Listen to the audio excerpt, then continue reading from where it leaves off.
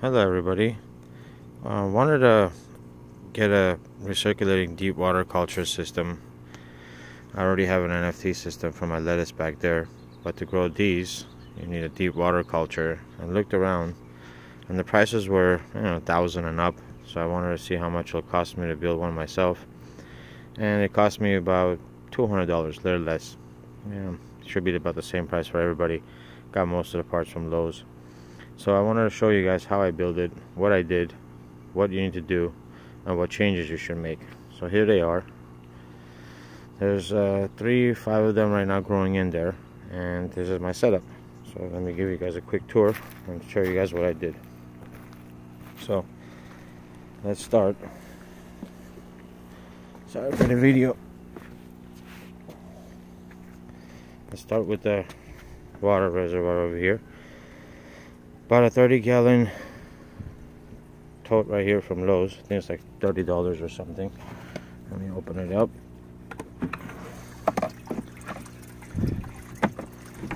Alright, got a water pump in there.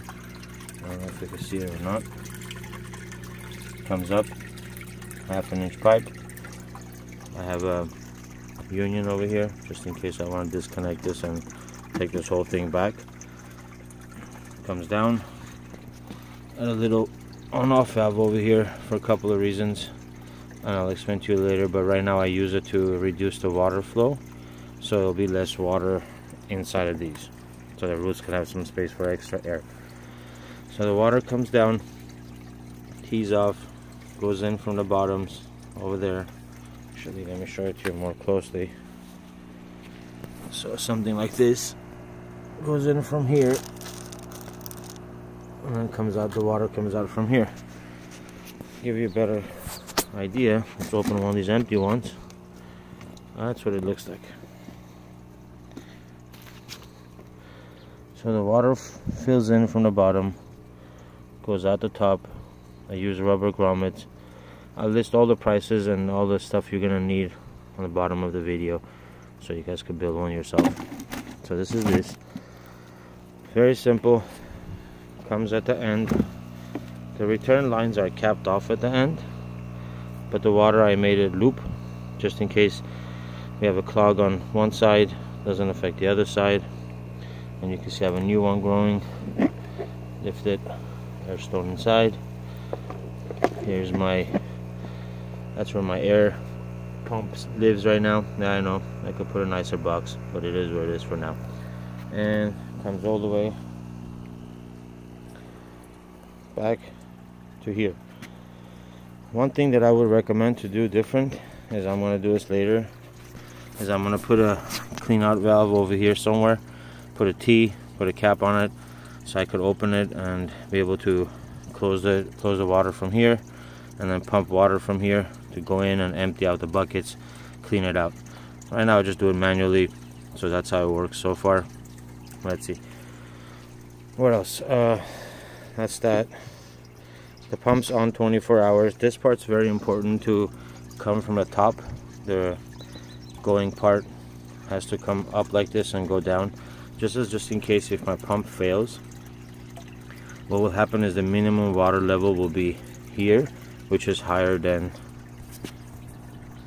the return I mean the return over here. This the this part's higher than this which means the lowest level of water you'll have in here is about this much.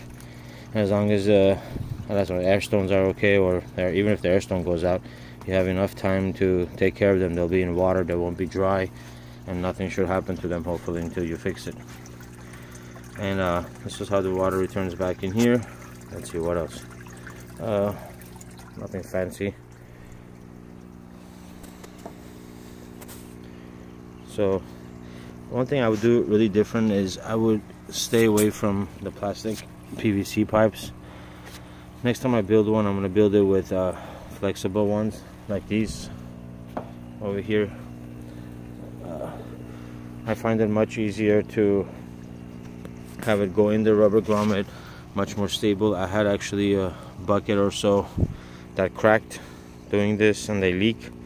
I fixed all my leaks. I have zero leaks but just in case anyway if you guys wanted to see how to build it this is how it is. So I used half inch pipe for the inline for the feed this bottom one and a three quarter return. And I want to open one and show it to you guys. Sorry for the video quality guys. Using my cell phone here. And it sucks uh, bad video. But anyway you guys get the point I guess. So six buckets six inch net cups. Some beautiful plants growing on it. In the sun. And it cost me I think about they did the math about $30 a month to run it. And I'm talking about with the with the nutrients also. It's about three three to five dollars a month for electricity. The rest sun takes care of it. Um, that's it. If you have any questions post it on the bottom of the video. I'll try to help you out oh one more thing.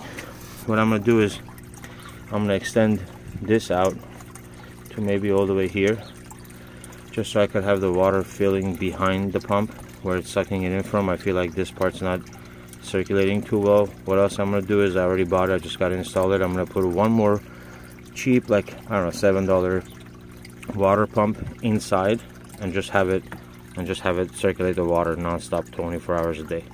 That will help the nutrients always be mixed properly even though it is circulating it back and forth should be mixed but to just give it more mix.